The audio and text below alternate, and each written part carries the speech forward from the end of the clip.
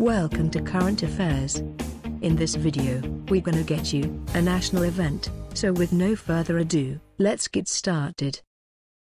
P. Susheela entered Guinness World Records. P. Susheela, veteran playback singer entered the Guinness Book of Records for singing 17,695 songs in 12 different Indian languages. Asian Book of Records recognized her for singing 17,330 songs.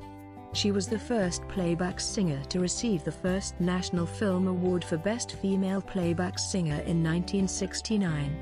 She then went on to receive four more national awards.